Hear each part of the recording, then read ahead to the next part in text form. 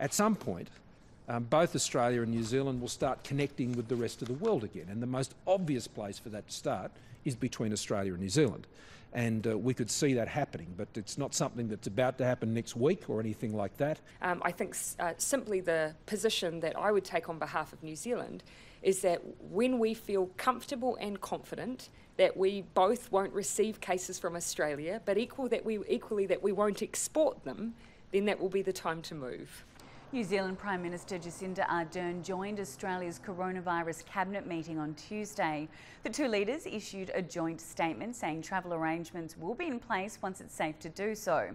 Travel could eventually be extended to other Pacific Island nations. New Zealand and Australia have a COVID 19 mortality rate of just 1%.